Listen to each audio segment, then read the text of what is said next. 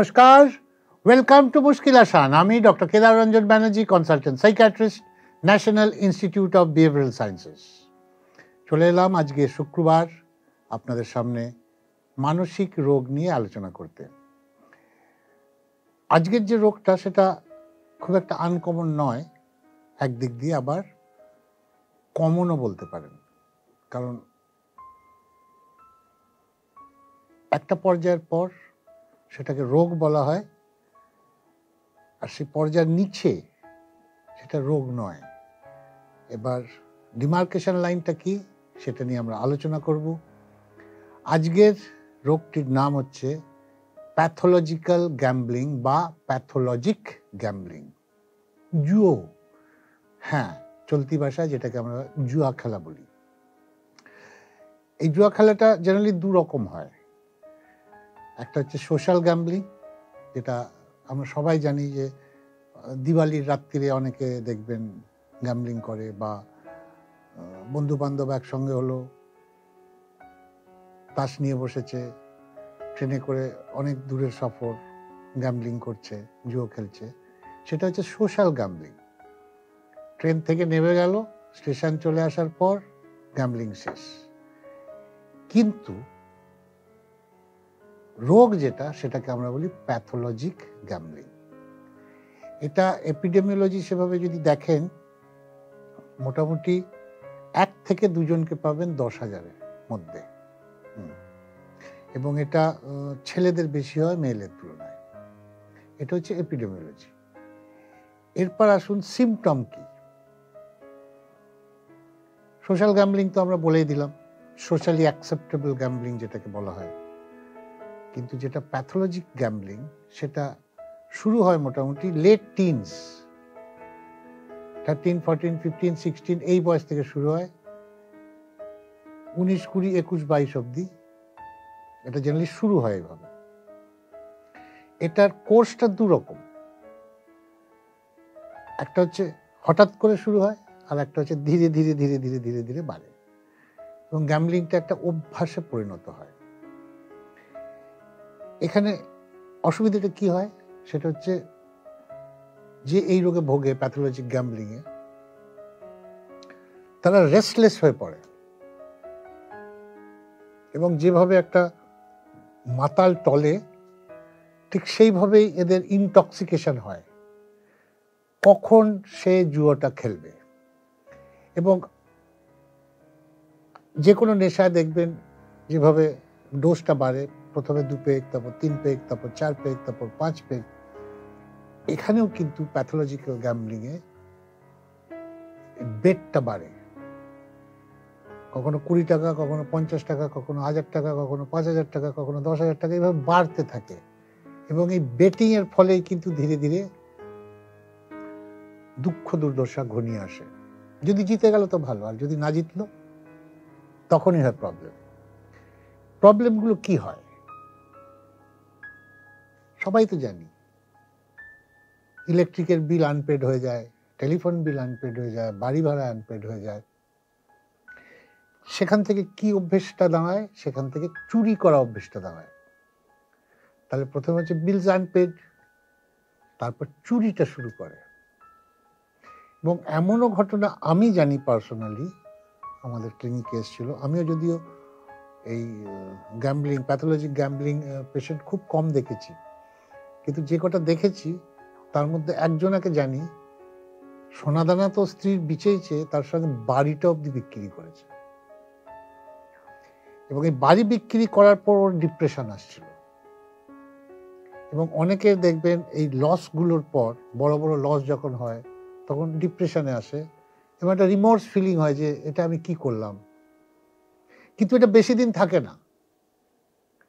এটা বেশি দিন থাকে না এবং একটা সময় আসে আবার সে কিন্তু ওই পথেই রওনা দেয়। প্রবলেমটা সেখানে এবং ধরুন আমার কাছে যে এসেছিল, তাকে ট্রিটমেন্ট করে আমরা একটা জায়গায় এনেছিলাম কিন্তু আবার সে ফেরত গিয়েছিল। আমার কাছে সে দুবার এসেছিল কিন্তু লাস্ট যেটা হলো সেটা হচ্ছে, যেটা জানতে পারলাম বাড়ির লোক এসে খবর দিল ডাক্তারবাবু, ও সুইসাইড করেছে। অর্থাৎ বুঝতেই পারছেন প্যাথোলজিক গ্যাম্বলিংয়ের শেষ পরিণতটা কি?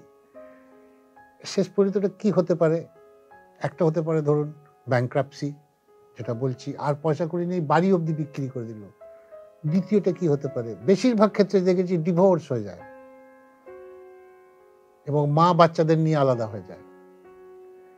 Last but not the least আর একটা জিনিস কিন্তু হয়। সেটা হচ্ছে জেল হাজত হয়। চুরি করতে গিয়ে ধরা পড়ে। এবং পরে জানা যায় ও জুয়ো খেলে। এবং সেখান থেকে কিন্তু জেলটা হয়।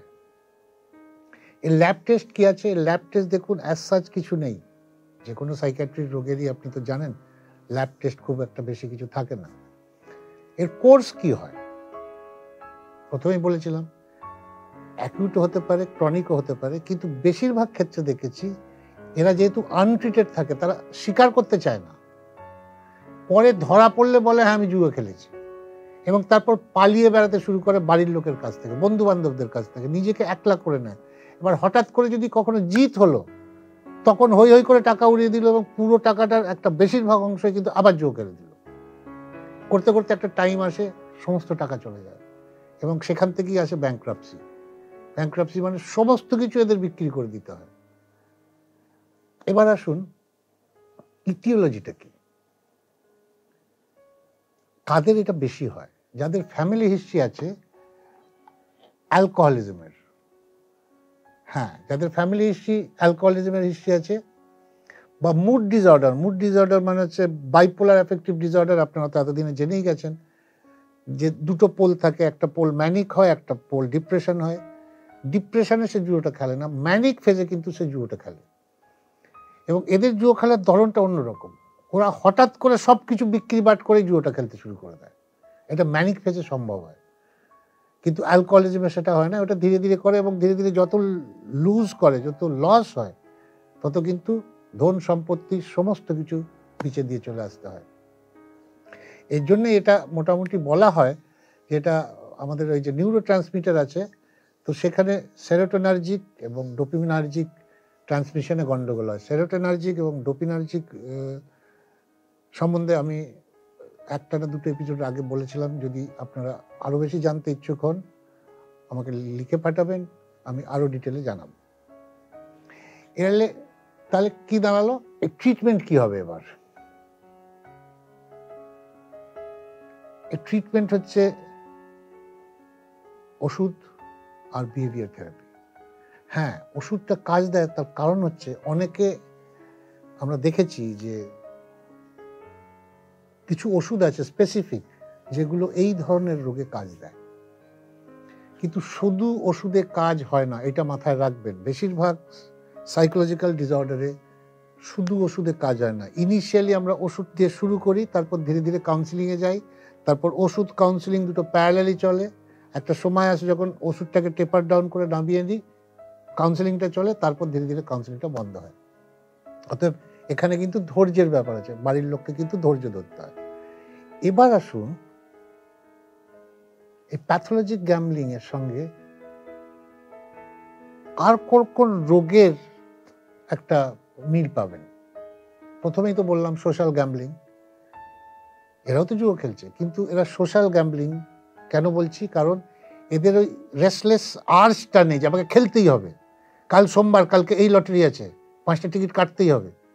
এই জিনিসটা নেই। সোশ্যাল গ্যামলার্স কিন্তু নিজেদের রেস্ট্রিক্ট করতে পারে এবং ওদের সেই রেস্টলেসনেস ব্যাপারটা আসে না। আর হয় যেটা, সেটা হচ্ছে আলোচনা করলাম ম্যানিক পেশেন্টদের যাদের বাইপোলার এফেক্টিভ ডিসঅর্ডারে ভোগেন, তাদের যারা ম্যানিক পেশেন্ট হন, তারা কিন্তু এই ধরনের জুয়ো খেলেন। মোটামুটি প্যাথোলজিক গ্যাম্বলিংয়েরই মতো। কিন্তু আমরা কি করে ডায়াগনোসিস করব? ম্যানিক পেশেন্টের আদার সিমটমসগুলো থাকবে ম্যানিকের যেটা প্যাথোলজিক গ্যামলারের থাকবে না। আশা করি রোগটা খুব আনকমন এবং অনেকেই এই সম্বন্ধে জানতেন না প্যাথোলজিক গ্যাম্বলিং এবং এটা একটা রোগের মধ্যে পড়ে। আজকে আমার মনে হয় আমাদের যারা মুশকিল আসানের দর্শক যারা দেখছেন আজকের প্রোগ্রামটা, তাদের কাছে ওভারঅল একটা আইডিয়া হলো প্যাথোলজিক্যাল গ্যাম্বলিংও একটি রোগ এবং এই রোগের চিকিৎসা আছে। যদিও তারা চিকিৎসা করাতে ইচ্ছুক থাকেন না, এদেরকে কিন্তু বুঝিয়ে বাজিয়ে যে করে হোক যদি চিকিৎসা করানো যায়, এই দুর্দশা থেকে বেরিয়ে আসা যায়। আজকে এইটুকুই থাক, যদি ভালো লাগে কাইন্ডলি লাইক দেবেন কাইন্ডলি শেয়ার করবেন যদি আপনাদের মনে হয় যে এই রোগ সম্বন্ধে আরও লোকে জানুক। কারণ অনেক ফ্যামিলি আছে যারা কিন্তু ডুবে গেছে এই রোগটার জন্যে। অনেক ফ্যামিলি আছে যারা ভেঙে পড়েছে ডিভোর্স হয়েছে। অনেক ফ্যামিলি আছে যারা ঘর ছাড়া হয়েছে। অতএব যদি পারেন একটু শেয়ার করুন, যাতে আর পাঁচজন জানে। আর যদি কোনো প্রশ্ন থাকে, আমাদের লিখে পাঠান। আজকে এইটুকুই থাক, নমস্কার।